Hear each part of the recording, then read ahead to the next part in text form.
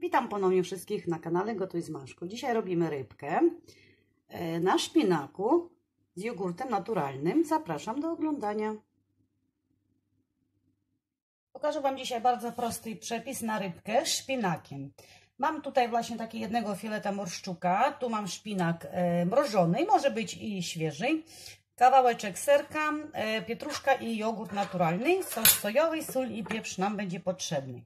Teraz my bierzemy rybkę na bok, wrzucamy tutaj albo świeży, albo ja mam taki właśnie, jak widzicie, mrożony szpinak i układamy sobie tutaj na dół. To będzie u nas pod rybką. Jeszcze troszkę jest mrożony. Rozdrobnimy. No już prawie rozmrożony jest.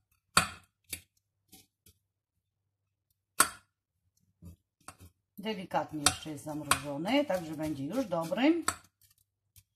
I wtedy my sobie na to stawiamy rybkę. I ostatni. I robimy tak, żeby wstawić rybkę sobie tutaj. Mamy takie dwa fileciki. Stawiamy rybkę na ten szpinak. W taki sposób. Teraz my bierzemy i utrzemy sobie serek na grubych oczkach.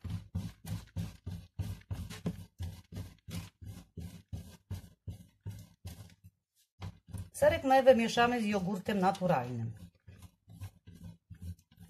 Ja tutaj mam e, z 50 gram sera.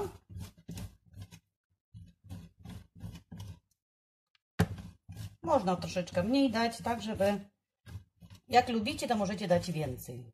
Jest delikatny i bardzo fajny obiadek. 20 minut. Szpinak mamy przygotowany.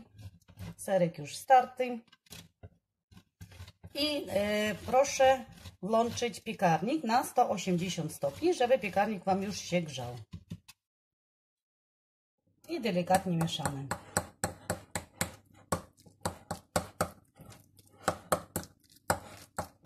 Tak żeby ser był w jogurcie naturalnym. Wszystkie składniki napiszę w opisie, co ile do czego dokładnie było.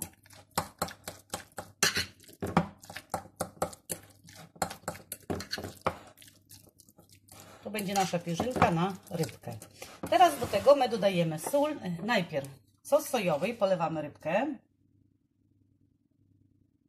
Delikatnie.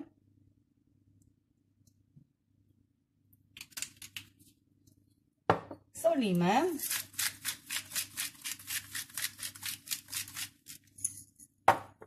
Dodajemy pieprzu.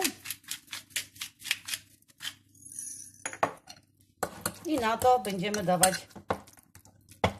ser z jogurtem.